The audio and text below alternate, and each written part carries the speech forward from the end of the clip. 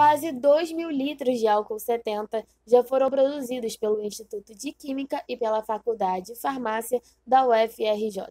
O trabalho, que vem sendo realizado há duas semanas, também envolve a produção de álcool gel, sendo 125 litros até o momento.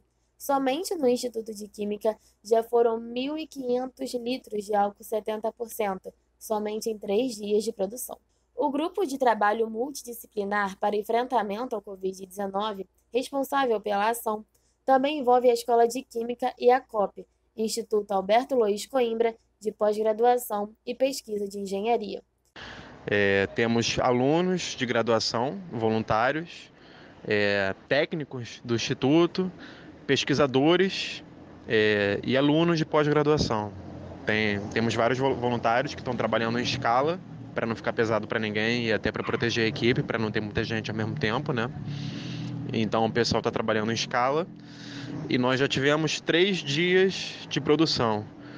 Sexta passada, terça e quinta dessa semana. O álcool 70 glicerinado não é o álcool gel, tá? O álcool 70 glicerinado, ele ele ele está na concentração ótima para sanitizar, para matar o vírus e também outros microrganismos. E ele leva um pouco de glicerol para deixar o produto menos. para ressecar menos em contato com a pele, tá? É, e também estamos fazendo o álcool gel, só que esse a gente faz em menor quantidade. Os insumos estão sendo distribuídos entre o complexo hospitalar, que envolve nove unidades de saúde, a residência estudantil, equipes de segurança, transporte e as outras áreas da universidade.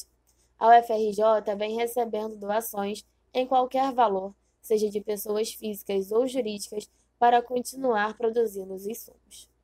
Eu sou Gabriele Teles, de casa, para o TJ UFRJ.